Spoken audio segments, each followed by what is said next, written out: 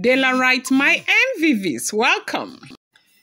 Tears extravaganza, as we are hearing, know that anti-gospel has shed um, so much tears over the response of the Ooni of Ife as she made mention of the fact that she is pregnant.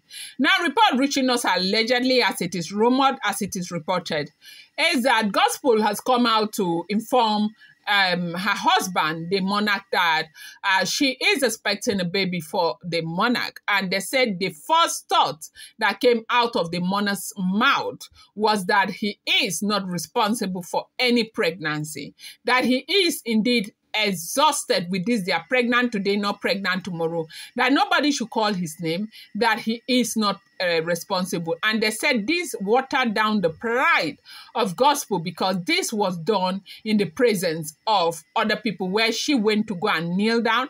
And she had said she had good news for the monarch, and the monarch was not expecting that it would be a news of a baby at this time where he is trying to reunite with his wife. You know something, eh? There is this adage the other time. They said that person when bite you for nose, in no fear kata. Hey, when you go bite am for bottom, make you no fear shit at all, at all. No fear shit. Nothing go happy. Go wash your mouth, come out.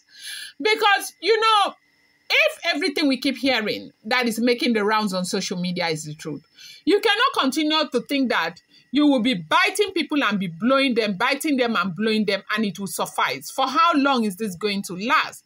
And that's the question that these women need to, you know, answer to, okay? Now we've heard a lot of stuff. The worst thing that can happen is like let somebody be an enemy and say yes, so I am an enemy. That that pretend to be a friend to you. That's going to be the worst thing that can happen to you in this world. And that's exactly what has transpired between the monarch and gospel from what we are hearing.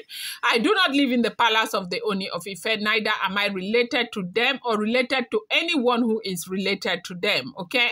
I'm just a blogger. Whatever information I get, I bring, I reenact, and I tell you guys what's going on. And this is the same reason why I keep saying to Dela Writer, whatever information you get on social social media, you want to take it with a pinch of salt. Now, at some point, you know, a lot of us were deceived into believing that gospel was one of the finest, you know, uh, women in the palace, thought wise, like she had a good heart, she wanted, she could see things for what they truly uh, um, um, uh, were, and uh, she wanted Olori Naomi to return back into the palace so Tadenikawo can grow up with the father.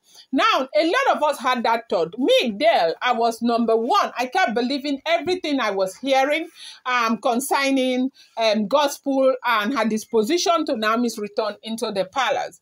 But over time now, with all the events happening, if everything we keep hearing on social media um, is to be the truth, we have come to see that she does not want Naomi. She does not want Naomi with the Ooni of Ife. She's ready to do anything to ensure that they are not together. She's ready to fight. She's ready to bring down that relationship. At least that is what we are made to believe. If this information we keep getting is the truth, we have um, seen these things happen over and over again.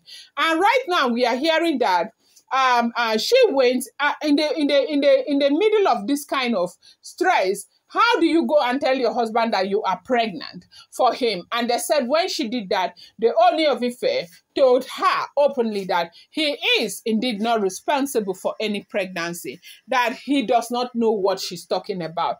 They said a kind of cry she cried there, that she cried so much, that she cried so much.